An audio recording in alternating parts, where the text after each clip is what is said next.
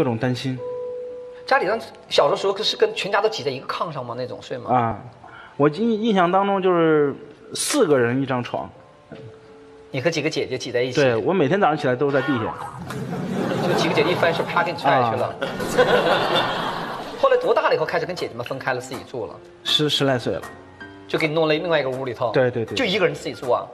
对啊、跟牛，你住牛棚里头去了？嗯，就你自己有个地方住了，但是跟牛跟你住在一起，对，住了没几天，实在是受不了了。你他拉屎是吧？对，太臭了。